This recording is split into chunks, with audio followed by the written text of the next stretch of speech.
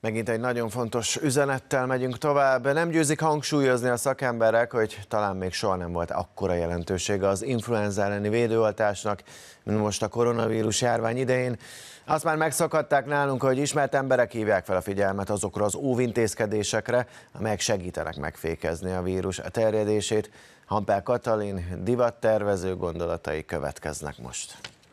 20 évvel ezelőtt egyszer nagyon-nagyon magas lázam lett, és kaptam egy influenzát, és én azóta minden évben beoltatom magam, és azóta sohasem lettem influenzás. Persze ez nem jelenti azt, hogy az ember nem kapja meg a felső légúti fertőzést, ami egy gyorsan lefolyó náthával jár, de az influenzát azt sose, soha többet nem kaptam meg, és ezért idén is ez volt az első, hogy beoltattam magamat, sőt a 8, 90 éves édesanyámat is beoltattuk, és itt a varrodába a kolléganőimnél is sikerült elérnem, hogy mindenki be fogja oltatni magát. Szerintem mi mindent elvárunk az egészségügytől, akkor nekünk ennyit kell tennünk az egészségünkért és az egészségügyért, hogy beoltatjuk magunkat.